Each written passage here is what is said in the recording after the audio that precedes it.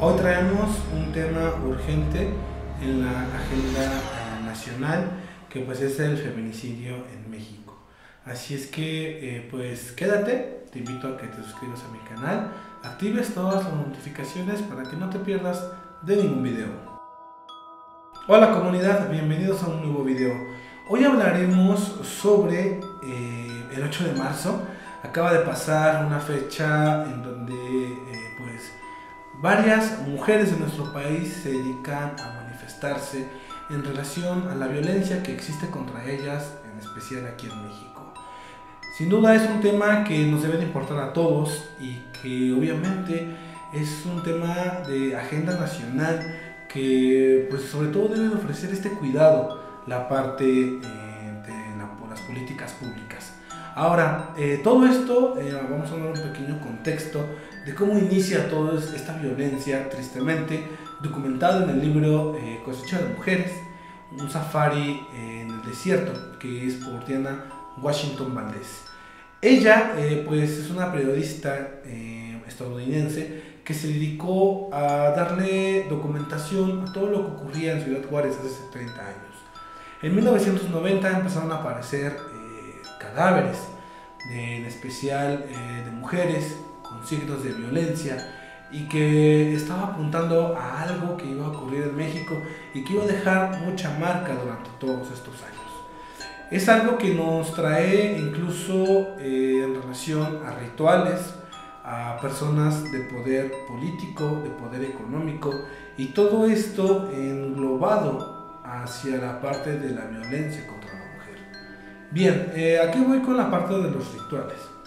Eh, Diana Washington Valdez documenta que hay una tabla que se encontró precisamente en, pues en el desierto de ahí de Ciudad Juárez y en esta tabla estaba plasmada por medio de dibujos a varias mujeres sin ropa eh, en una especie como de ceremonia. En estos también había personas encapuchadas y que incluso había militares cuidando toda esta parte como acordonado el asunto para que nadie entrara. Estaba también dibujado el signo del escorpión, que es parte que eh, forma por parte del crimen organizado, y también, eh, también esta parte de eh, las drogas. Ahora bien, se especula dentro del libro que estos rituales se hacían cada que alguien se unía a este grupo de organizaciones y que también eh, lo hacían conforme ellos entregaban la mercancía o había algún tipo de rivalidad entre los cárteles de México. Eh, aquí nos habla que pues era como una especie de sello de silencio, porque nadie puede decir nada de lo que estaba ocurriendo. Es decir, cada que alguien entraba a este círculo de violencia, esta era la manera en que ellos no debían abrir la boca, porque pues como tal, eh, tanto perfiladores del FBI como sexólogos marcaban que era un sacrificio sexual, es decir, eh, que pues una red de personas se dedicaban, eh, se puede decir que de manera estructurada, a desaparecer a estas chicas, lamentablemente, y a terminar con su vida. Eh, desde la manera en cómo encontraban eh, colocados los cuerpos, incluso atados por cordones de sus zapatos, de los tenis, eh, por la tortura que recibían, por las mutilaciones que llegan a presentar en el cuerpo y por el tipo de violencia que presentaban, pues todo marcaba que era metódico el asunto y no nada más de hacerlo por hacer, sino simplemente llevaba un proceso eh, por el cual debían de mantener a las personas, incluso hasta criminólogos, eh, un gran criminólogo que menciona en el libro que es Oscar Maínez, que estaba en Ciudad Juárez, pues él también coincidía en todos estos aspectos que daba tanto los perfiladores del FBI como eh, los sexólogos. también nos da pauta en el libro que Ciudad Juárez fue vendida al cártel de los colombianos. Es decir, que en el año en que se estaba iniciando toda esta violencia, pues recordemos que en esa parte fronteriza se encontraba eh, los Carrillo Fuentes, es decir, el, más conocido, el Señor de los Cielos. Y los colombianos son muy conocidos por hacer este tipo de sacrificios eh, sexuales y humanos sobre todo. Entonces, eh, varias fichas de, esta investigación fueron eh, pues armando el rompecabezas que incluso autoridades más altas del gobierno, que la Secretaría de Seguridad Pública, la policía, todo estaba coludido en relación a, proteger lo que estaba ocurriendo. Si bien eh, los cuerpos empezaron a aparecer a partir del cambio de gobierno que es con el PAN, pues empiezan a deshacerse de una manera más sofisticada de ellos. Es decir, ocupaban otros métodos para deshacerse de los cadáveres y pues ya no dejar ningún tipo de rastro. Lamentablemente, eh, pues Diana Washington Valdez advertía de que todo esto que estaba iniciando como una prueba piloto en Ciudad Juárez se iba a extender a todo México no solo a México, sino a parte de Guatemala y otras ciudades fronterizas del sur. Y es lo que vemos actualmente, ya no solo es Ciudad Juárez donde se presentaron estos primeros casos, ahora toda la República Mexicana eh, abarca todo, todo esto. También en el libro de Diana Washington Valdés marca que no solamente eh, pues estos grupos de los cárteles estaban inmiscuidos en relación a, este tipo de atrocidades que estaban haciendo contra las mujeres. También hablan de un grupo de eh, juniors, así que de personas con alto poder adquisitivo y poder político, que también estaban inmiscuidos en este tipo de rituales y que sobre todo pues coincidían en lo mismo. Sin duda, eh, pues México estropeó eh, por parte de autoridades el trabajo del FBI en conjunto con sexólogos. Es algo que jamás se llegó a resolver y todo esto es lo oscuro que hay detrás de toda la cultura eh, machista que hay en México eh, y que sobre todo eh, normaliza mucho la violencia en contra de la mujer. si bien se habla de que pues la violencia que hay dentro de los hombres hacia las mujeres, hablamos del noviazgo, desde un matrimonio, incluso en la parte laboral, en cualquier ámbito existe este tipo de segregación hacia la parte de la equidad de género.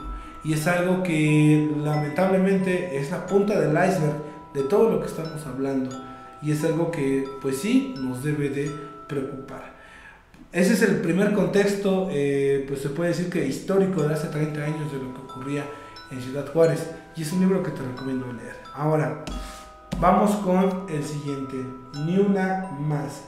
Por Frida Guerrera, eh, pues ella eh, trata sobre, pues abarca los testimonios de las familias que han perdido a, su ser querido por medio de un feminicidio. Habla de los huérfanos, es decir, eh, los niños que se quedaron sin su madre. También nos comenta mucho lo que es el feminicidio infantil una parte muy perturbadora por parte de, Frida Guerrera y sobre todo la violencia en el noviazgo. Cómo una historia de amor se puede convertir en algo que puede acabar con tu vida. Y bueno, habla desde la desconstrucción de la autoestima que llegan a tener las mujeres, es decir, que dependan eh, emocionalmente y de la autoestima eh, alimentarse de toda la situación que hay en los hombres.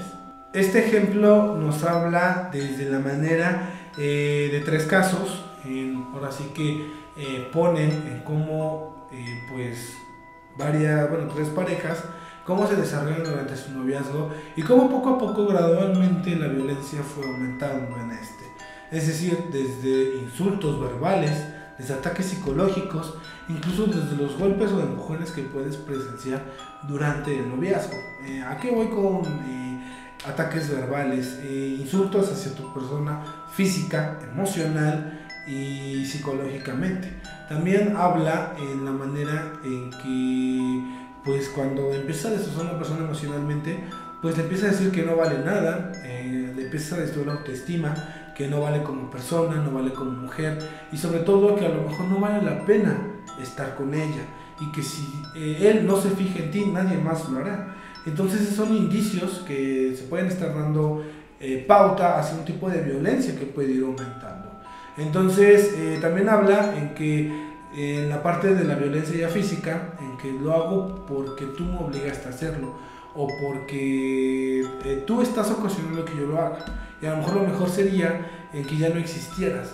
Cuando alguien ya te intenta eh, borrar totalmente de la existencia o decir que lo mejor es que no estés en formato vivo, habla de que ya tiene esta situación o indicio hacia querer desaparecerte o atentar contra tu vida. Entonces es algo que sí se debe tener como en cuenta en relación cuando estás pasando en, un noviazgo, ¿no? Lamentablemente eh, eh, todo esto que ocurre son entre parejas, entre personas que a lo mejor hicieron un segundo matrimonio.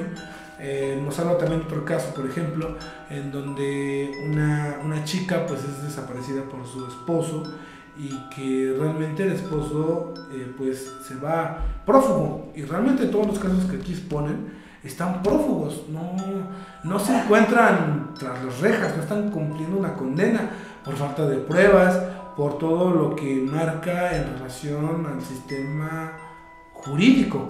Eh, la verdad que revela mucho en cuestión eh, judicial de cómo esto a las autoridades no les importa y realmente tal vez alguien vaya a denunciar y no se les da el seguimiento adecuado o al menos no es el interés eh, total de lo que ocurre, ¿no? Entonces es aquí cuando viene todo esto en relación con el gobierno proteja los monumentos cuando están en las marchas y le dan esa pauta de proteger más el monumento que a lo que ocurre en relación a la vida de las mujeres, porque realmente cuando alguien va a denunciar es porque ya siente que está eh, atentado contra su vida, ¿no?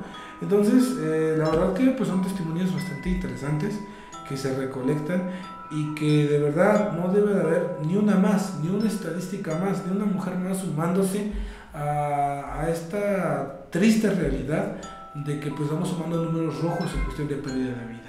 Entonces, bueno, es un tema bastante complejo.